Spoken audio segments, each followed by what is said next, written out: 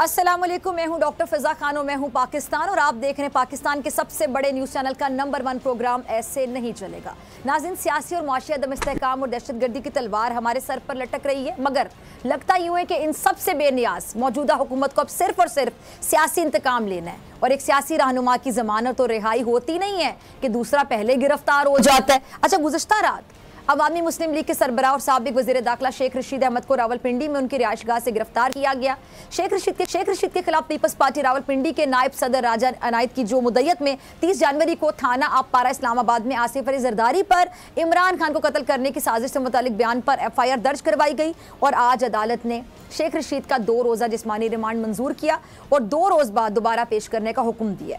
गिरफ्तारी के बाद शेख ना था कि राना सनाउला के कहने पर यह सब कुछ हो रहा है। मेरे मुलाजमीन पे बदतरीन तशद किया गया। घर के दरवाजे, खिड़कियाँ तोड़ी गई। मजीद क्या कहा शेख रशीद साहब ने उन्हीं की जबानी सुनिएगा। बदमाशी की है। ये मसला थे, सौ, दो सौ लोग दाखिल हुए हैं और मेरे मुलाजमों को मारा है। मेरे घर की तलाशी ली है। सारे बदमाश हैं। में दाखिल हुए हैं, सीढ़ियाँ लगा के। इन्होंने दरवाजे तोड़े बदतमीज़ी की है और तमाम मुलाजमीन को मारा है और ज़बरदस्ती मुझे डाड़ा है इन्होंने गाड़ी में। और ये यहाँ मियाँ ताहिर साहब ने मेरी जमानत ली और उन्होंने कहा छः तारीख को आईजी पेश हो और ये एस एच ओ जो है, ये सारा नवाज़ लीग आउट है और ये नवाज़ लीग ने इसको लगाया यहाँ। राना जो है सनाउल्ला ये सारे काम करा रहा है। सारे घर के दरवाजे तोड़े हैं, खिड़कियाँ तोड़ी हैं और इन्होंने बेतहाशा मारा मुलाजमों को और ये उठा के लाए हैं। ये थाना जुल्म का निशान है। इन ताला हक की फतह होगी। इमरान खान के साथ। और कल रात ही एक के बाद दूसरी कार्रवाई भी देखने में आई। बोल न्यूज़ के सीनियर एंकर पर्सन, सहाफी तजियाकार और मुल्क के मुल्क के मकबूल तरीन यूट्यूबर इमरान रियाज खान को लाहौर एयरपोर्ट से F I A cyber crime ने गिरफ़्तार किया, जिसकी इतला इमरान रियाज खान के ट्विटर के ज़रिए शेयर की गई। जिसके बाद इमरान रियाज खान का मोबाइल, लैपटॉप, तहवील में ले लिया गया। अच्छा एक ही रात में सबक वजी दाखिला और बोल न्यूज़ के सीनियर एंकर पर्सन की गिरफ्तारी ज़ाहिर करती है कि मौजूदा हुकूमत की जो तरजीहत हैं, उनमें अवाम चाहे दूर दूर तक नज़र नहीं आती है और गुजशत रोज़ रिहाई पाने वाले तर्जुमान पीतों में ही हो रहे हैं। प्रेस कॉन्फ्रेंस करते हुए चौधरी साहब ने क्या कहा, सुन लीजिएगा। किसी को अरेस्ट करना हो, चाहे किसी के ऊपर झूठे केस बनाने हों गरीब फैमिली का कोई फ्यूचर नहीं है पाकिस्तान में। ये आखिरी तीन महीने, चार महीने वो गुजार लें। हम ये चाहते हैं पाकिस्तान में आइन के मुताबिक इंतबात का इनका हो। और इंतबात के अलावा पाकिस्तान में हल कोई नहीं किसी के पास।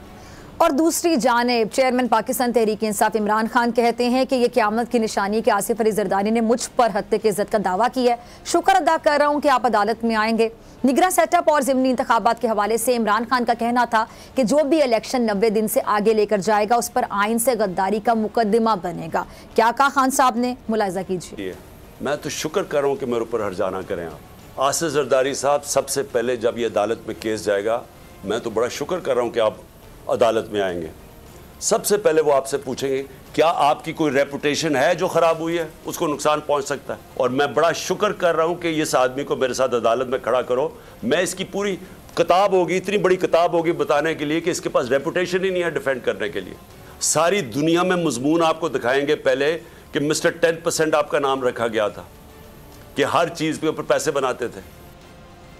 जो भी 90 डेज़ से आगे लेके जाएगा, उसके ऊपर आर्टिकल सिक्स लगेगा। प्लान कर रहे हैं कि जी किसी तरह उसकी आड़ लेके दहशत गर्दी की इलेक्शन आगे करेंगे। और इनकी पूरी कोशिश ये है कि किसी ना किसी तरह ये तब इलेक्शन करवाएँ जब ये समझें कि तहरीक इंसाफ ख़त्म हो चुकी है। अच्छा अब दूसरी जानब जमात से एफिलिएशन रखते हैं, अगर वो प्रोपोगेंडा करेंगे तो इस बारे में फिर बात तो होगी। आज ये बात क्यों कर रही है मरियम नवाज़ साहिबा? इस पर बात करेंगे पहले हुआ है और वो उनकी एक जमात के साथ पूरी अफिलिएशन है और कुछ चैनल्स अगर वो झूठ को प्रोपेगेंडा को, झूठ बोलने वाली मशीन के तौर पे वो सामने आएगा तो उसके बारे में फिर बात तो होगी।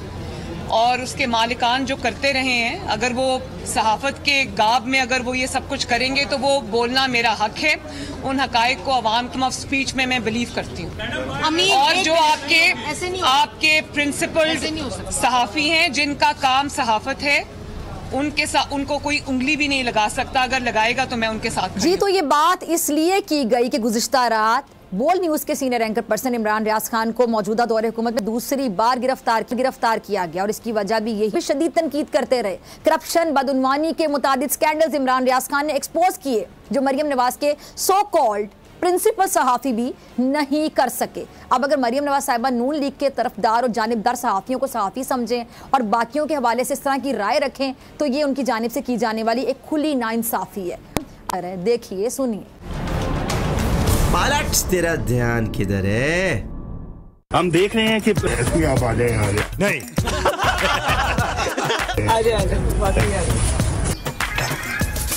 तुमसे ना हो पाएगा। पालट तेरा ध्यान किधर है? तो उम्मीद है कि आप असली आ गया।